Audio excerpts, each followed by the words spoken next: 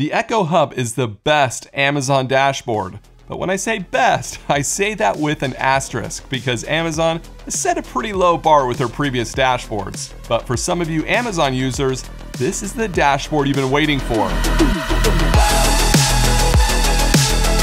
And since you might be using this as a family dashboard, I put it to the ultimate spouse approval test. I quizzed Ali on how to use this device. I can't. So we'll see if I'm sleeping on the couch tonight. The Echo Hub is actually quite a bit different from the previous Amazon devices you might be familiar with when it comes to using it and just the physical design. So it's kind of like an Echo Show mixed with a tablet, but it's a lot thicker than a tablet. But that's because there's some big speakers on top. The speakers actually sound pretty good if you're listening to someone talk, but if you're listening to music with bass, yeah, it's not going to sound great. The current weather is 77 degrees Fahrenheit with clear skies and sun.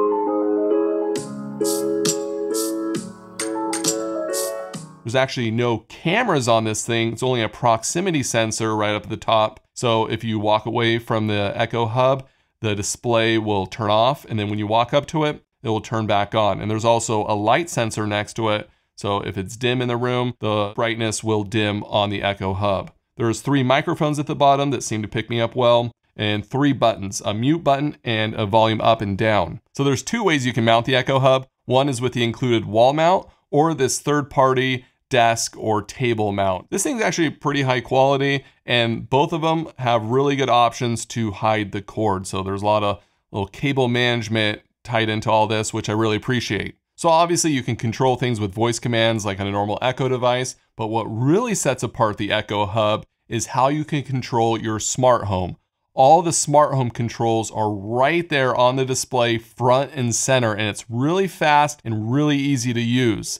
All right, to see how easy the Echo Hub is to use, I'm gonna have Ali try it out for the first time here on camera. Just turn the studio lights on and off.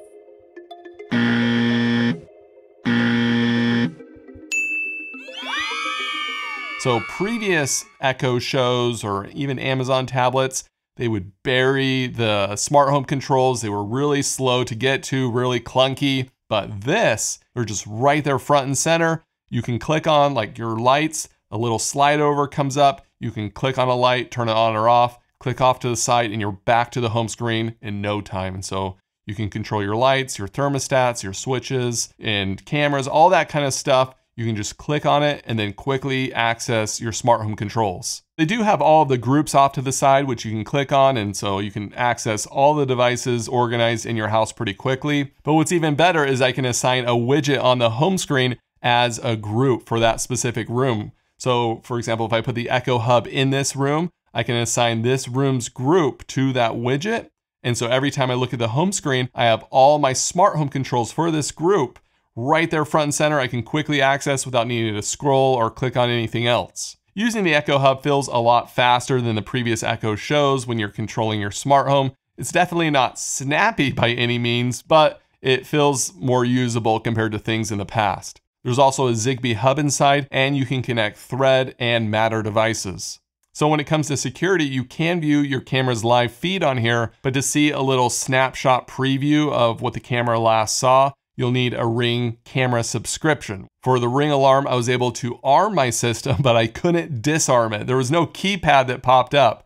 And I think they're gonna add this later. They were showing it in some of the promo videos, and they said that they're gonna add some software updates for things like this later on. But just be aware you cannot arm or disarm your Ring alarm unless you're paying for a Ring subscription or if you're grandfathered in. And if you want to know if you have either one of those, if you can control your Ring alarm from your phone, then you can be able to do it from the Echo Hub.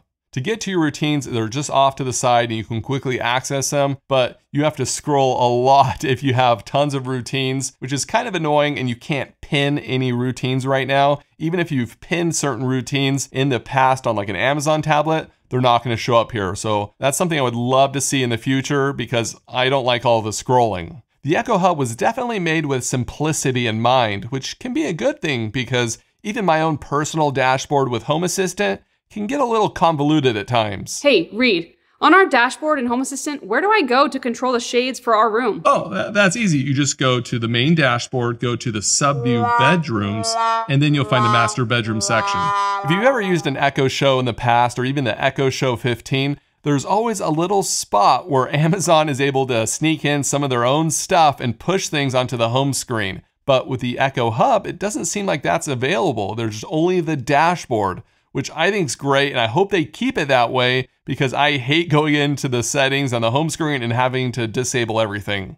So, one of the things that can get a little annoying is scrolling on the Echo Hub. You scroll side to side and you kind of have to scroll a lot if you want to see a bunch of your widgets, but some of the widgets can actually scroll horizontally. So, as you're trying to scroll the home screen, it's accidentally scrolling the widget. So, yeah, it can be a little frustrating at times. Oh, and don't get me started on rearranging widgets. It's so difficult, especially with the big widgets, and almost impossible. I want you to rearrange the widgets. Oh, I can't. I can't without. I just tried to move the whole thing. They're not like floating like they do on Apple, where it's like it's shaking back and forth. I, I I don't know. There's also an active media section which shows what music's being played around your house, which is pretty cool. But you have to click on the button to see it unlike their iPad app, which always has a banner at the bottom and you don't have to click on it to see it. And I wish they would have had that on the Echo Hub. Which brings me to a couple issues I have with the Echo Hub. One is too much space wasted. Like there's a ton of space up top that's not being used, and all of the buttons are just way too big. You can only fit a few buttons on the screen because they're so massive. And I wish that there was an option to at least shrink down the button size so you can fit more on there. Like I get that they're trying to make them easy to press, but if you could just choose what you prefer, then maybe, you know, everyone could customize it the way they like.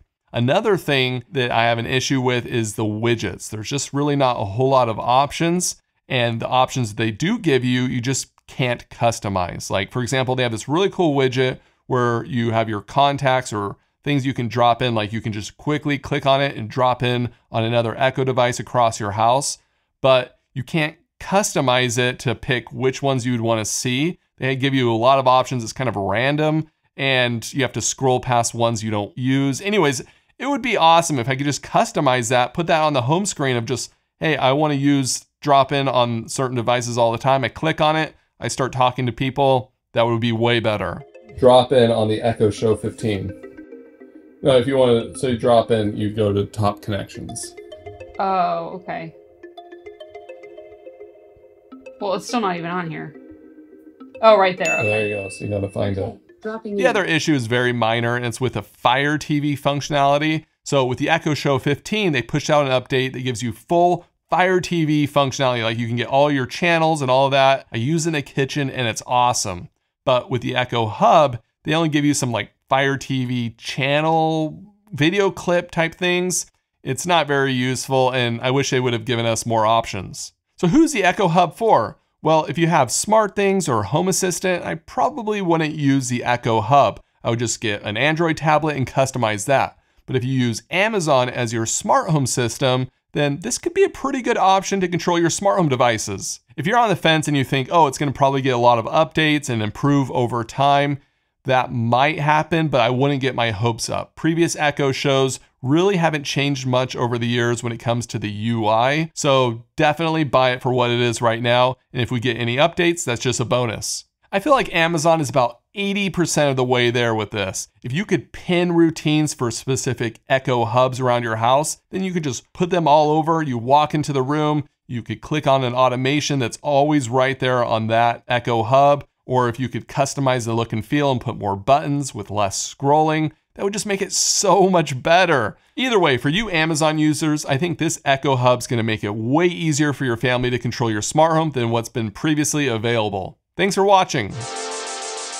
Hey, Reed, where's the button for the candy dispenser? You just press up, up, down, down, left, right, left, right, start, select. Oh, it's like a cheat code. Yeah, and then the candy button appears.